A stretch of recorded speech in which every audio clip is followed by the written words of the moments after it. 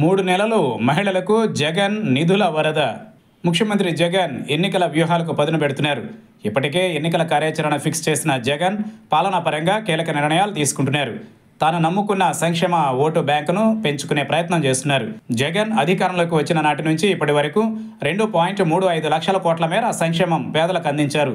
దీంతో జగన్కు కౌంటర్గా చంద్రబాబు పార్టీ మహానాడు వేదికగా సంక్షేమ మేనిఫెస్టో ప్రకటించారు. కానీ ప్రజల నుంచి స్పందన కనిపించలేదు.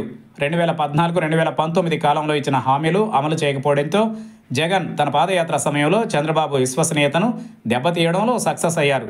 తాను చెప్పిన మాట నిలబెట్టుకుంటూ రెండు వేల పంతొమ్మిదిలో అధికారంలోకి వచ్చిన నాటి నుంచి పథకాలను ఎన్ని సమస్యలు వచ్చినా అమలు చేస్తున్నారు. ఇక వచ్చే ఎన్నికలలో తన సంక్షేమమే తనను గెలిపిస్తుందనే ధీమాతో ఉన్నారు. ఇటు పార్టీ నేతలకు ఎన్నికల రోడ్ మ్యాప్ ఫిక్స్ చేస్తూనే ప్రతి ఇంటికి వెళ్ళి జగన్ ఏపీకి ఎందుకు అవసరమో వివరించేలా కొత్త కార్యక్రమం ప్రారంభిస్తున్నారు. జగన్ అన్న సురక్ష ద్వారా ప్రతి ఒక్కరి ఆరోగ్యం పైన ప్రభుత్వం శ్రద్ధ చూపిస్తుందనే సంకేతాల ద్వారా వారికి దగ్గరయ్యే ప్రయత్నం చేస్తున్నారు. ఇక ప్రతి సంక్షేమ పథకం మహిళల పేరుతో అమలు చేయడం ద్వారా మహిళా ఓటు బ్యాంక్ తన వైపు ఉండేలా జాగ్రత్త పడ్డారు.